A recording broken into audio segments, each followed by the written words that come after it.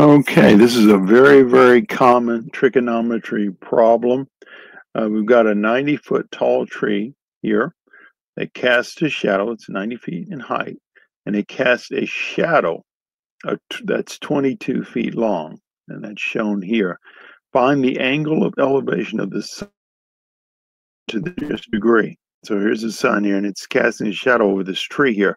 And the typical problem with this is a right triangle because the shadow and the tree is a 90 degree angle here, right here at this juncture. And so we've got 90 feet here, it's the height, and then 22 feet is the length of the shadow. And so what we're going to do is find this angle here, the angle of elevation uh, to the nearest degree. That's how far we're going up as far as the sun. Uh, the angle of elevation we're elevating. Find the angle of elevation of the sun to the nearest degree. So the sun, the angle of elevation you're elevating up to the sun. And that's why it's this angle here that we're looking for. So to do that, uh, what we're going to do, uh, we've got a ratio here built in here. The tangent of this angle is the opposite side over the adjacent side. Uh, that's the tangent of an angle.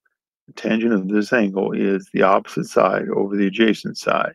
So it's 90 feet over 22 feet, and we get 4.09 but we want the value of x. We want this angle value here. So the angle x is the inverse function of tangent.